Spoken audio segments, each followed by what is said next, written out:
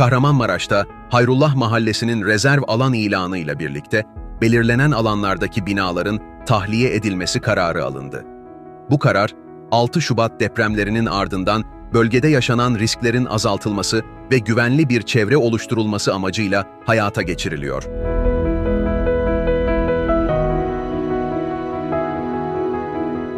Yıkım ve tahliye süreci, Tabakhane Caddesi ve Azerbaycan Bulvarı'nda bulunan 254 ada ve 4 parseldeki binaları kapsıyor.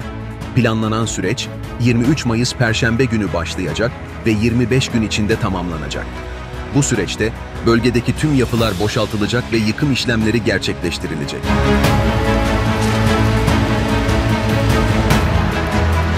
Tahliye işlemlerinin tamamlanmaması halinde ise 6306 sayılı kanunun ilgili maddeleri gereği, gerekirse kolluk kuvvetlerinin de yardımıyla tahliye ve yıkım işlemleri Kentsel Dönüşüm Başkanlığı tarafından yapılacak.